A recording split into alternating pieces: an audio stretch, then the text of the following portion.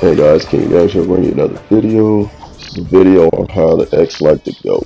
You know, when I do these videos, I'm just be going over how I play mindset during uh, the playtime and just, uh, you know, going over the video vaguely overall. You know, it's not going to be in great detail like a top five commentary or something like that. But, um, yeah, man, just a little something to switch it up. But Right now we have a huge Zerg on us, and I mean huge. I mean, don't take my word for it. As Dove, luckily, half of that Zerg broke off and took.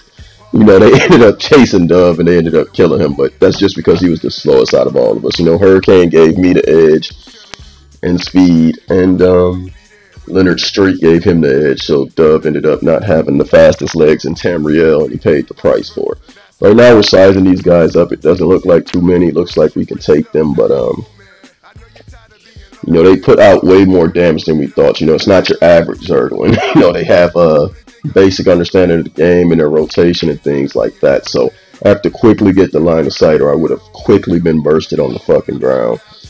And that's that's the bottom line. So I see a guy there pretty low. I'm keeping an eye on him, and Leonard's doing call out. So what we're trying to do is just Leonard Freewees in a tank. I'm not a tank by any means, but people will focus to who they think is the squishiest target.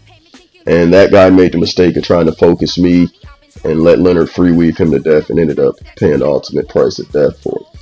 I see this guy's pretty low, but there's no way I can attack him with all these guys on me. So I, I'm pretty much trying to be a distraction here while Leonard just freely weaves his Sorc abilities and attacks them. Now right now I'm trying to kite and run back through them, and uh, so I can line up a Dawnbreaker and uh, time it with Leonard's Dawnbreaker. But um, as I as you can see, that guy in the back's low, so I'm gonna crit rush him, and luckily, you know, the crit rush is just strong enough even with the nerf to take that guy right the fuck out.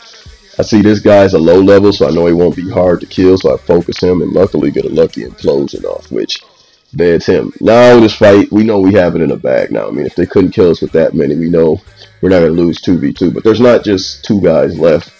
Um, there's a guy somewhere in stealth that Leonard ends up killing. But we decided to focus the Sorc since the other Sorc's not putting out any pressure. I mean, he's not worried about us now. We're not worried about him. So, you know, um, right now he's just like, he's dancing, you know, he's trying to avoid as many attacks as he can. But I'm going to focus the weak targets. Um, Leonard's over there focusing the guy that's low, so I'm going to focus the Sorc and I'm going to try to get him out of there and with one uppercut, and uh, we both execute him at the same time.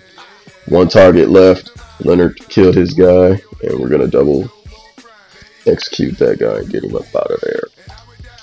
But uh, yeah, man, that's it for this episode of How to X Like a Goat.